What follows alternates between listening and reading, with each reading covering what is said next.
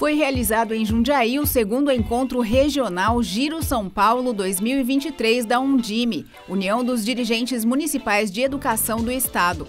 O evento aconteceu na sede do CIEMP.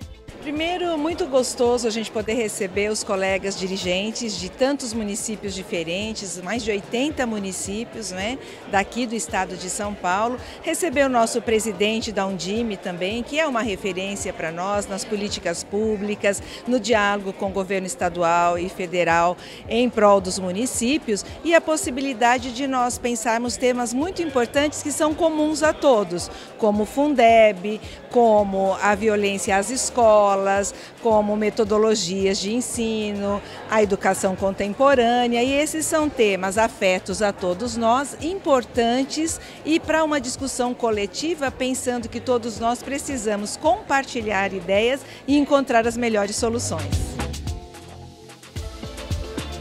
Nós realizaremos três encontros dessa natureza, esse é o segundo em todo o estado.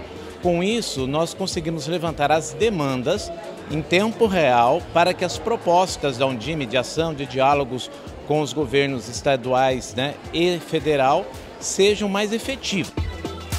Eu realizei no ano passado um curso em Harvard com a participação do prefeito Luiz Fernando e ali discutindo ativamente as questões de educação infantil de Jundiaí e eu posso dizer que hoje nós temos muito a aprender com Jundiaí.